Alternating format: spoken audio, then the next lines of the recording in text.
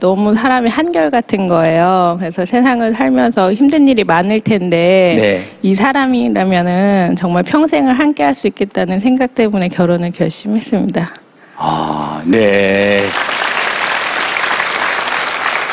어, 진짜 중요한 질문 그럼 하나만 더 드릴게요. 만약에 부인께서는 12번을 다시 태어날 수 있다면 지금의 남편과 몇 번 결혼하시겠습니까?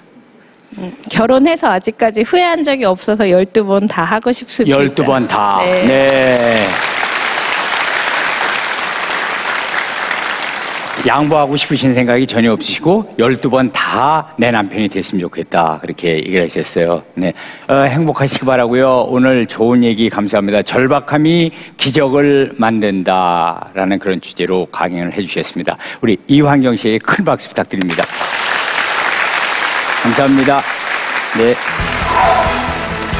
16세 최연소 자동차 정비 기능사가 된 중학생 조연진. 강연 주제 내 작고도 큰 꿈. 도시의 삶을 뒤로하고 산골로 귀촌한 50대 남자 배정태. 강연 주제 행복의 조건. 다리 절단 장애를 극복한 수영 강사 이환경. 강연 주제 절박함이 기적을 만든다 인생의 뜨거운 감동을 만나는 시간 강연 백도시입니다.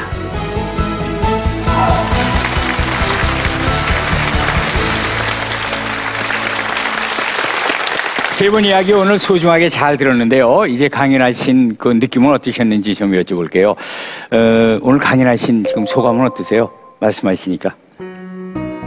네, 오늘 아주 특별한 경험을 했고요. 네.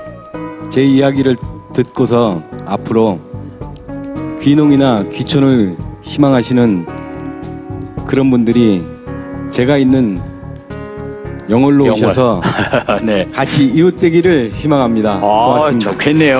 네. 어, 연진 양은 오늘 또 이렇게 멀리까지 와서 강연을 해주셨는데 소감이 어때요? 엄마도 또 지켜보셨고 앞에서. 어린 나이에 이렇게 뜻깊은 자리에 설 수 있게 해주셔서 너무 감사하고요. 어, 오늘 제 꿈 이야기를 듣고 제 또래 친구들이 꿈을 가졌으면 좋겠어요. 아. 지금 얘기의 소감은 결코 어린 나이의 소감이 아니었습니다. 네. 아주 의젓하고요. 네.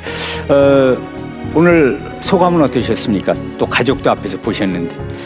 지금 이렇게 많이 모이신 분들 앞에서 정말 절박한 심정으로 살겠다라고 말씀을 드렸으니까 더 열심히 살아야겠다 그렇게 생각이 듭니다. 네. 늘 그런 어떤 긴장감 속에서 내 스스로를 채찍질을 한다는 것도 참 좋은 일이 아닐까 싶네요. 자, 오늘 세 분의 강연 잘 들었고요. 어, 강연 백두 씨는 다음 시간에도 더 특별한 만남을 여러분께 소개를 해드리겠습니다. 여러분 감사합니다.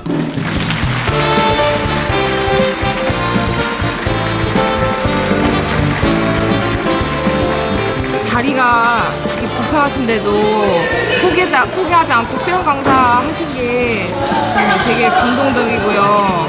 저도 그런 자세를 본받아서 열심히 살아야겠다고 생각했어요. 어린 나이임에도 불구하고 자기의 인생을 자기 스스로 개척하는 모습도 되게 멋져 보였고 저는 솔직히 그렇게까지 못할 것 같아요. 그래도 주변 사람들이 응원해 준다면은 또 다시 일어날 수 있지 않을까라는 생각이 들어요. 나의 강연 백도씨란 한마디로 꿈! 가연백도시 화이팅! 강현도 씨 화이팅!